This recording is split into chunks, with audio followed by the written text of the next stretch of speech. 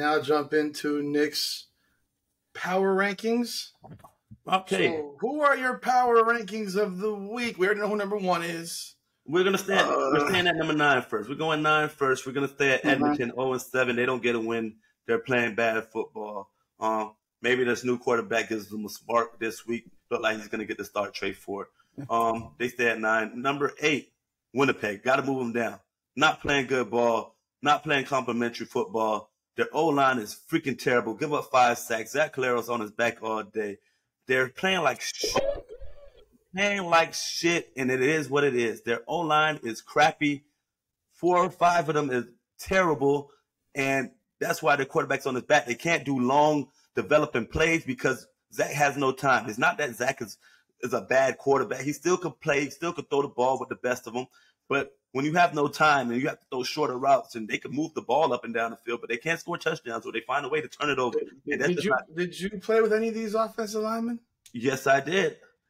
Okay. It is what it is, man. I got to call Na- it. na- na- name them. I'll They're tag them on this one. They're playing bad. It is what I'll it is. tag them. Them. I mean, I mean, on. I don't have to call them out. They know who they are. I don't know who they are. It's I four mean, out of five of it's four out of five of them. It's playing bad. So anybody so else, who's, who's not playing bad? Stanley Bryant, he's still orchestrating. He's not playing great either. I, keep it real, and that's my guy. I love him to death, but he's not playing great either. But he's not playing as bad as the rest of them. They some of them they can't even move. They can't move laterally. They can't Oh. work together. They're not making their reads right. They're letting people come in on blitzes, and they're not switching off of.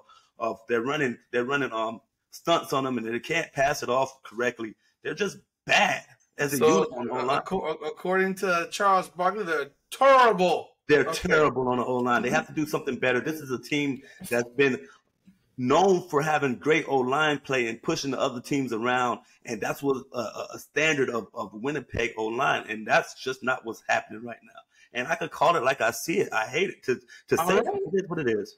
Number seven. Number seven, we got Hamilton. They got two wins in a two wins in a row. They're looking better. They're two and five. Bo Levi Mitchell um throwing a lot of touchdowns this year. He's playing well this year. People thought he was done. They written him off a few years ago, but he's back. He's back and he's balling. He's doing his thing. He's not the problem over there. When they do lose, it's usually the defense. But their special teams is is giving them some short fields also. Um, who we got at number six? Um, a big drop for Calgary, man. I I, I had to drop them a couple spots they they came out and they laid an egg. I, I did not like their effort. I did not like how they came out so lethargical, lazy looking, and and and bad from the whole front. Looked like the offense, and the offense led to the defense playing bad and the special team. Um, Toronto at five. I got them right behind Ottawa at four. Ottawa's been rolling five and two.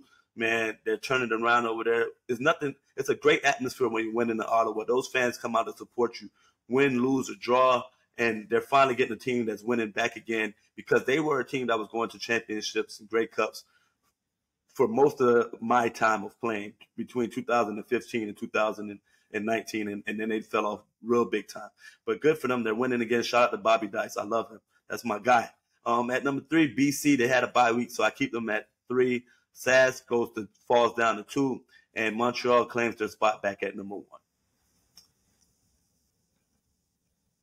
There we have it, folks. We have Montreal, Sask, BC, Ottawa, Toronto, Calgary, Hamilton, Winnipeg, and their trash can offensive line, and Edmonton rolls at number nine with their own, I think, 07 record. Yeah. Um, can't, can't you know can't uh, what's the word? They can't uh, can't lay it on a whorehouse on Friday night on payday.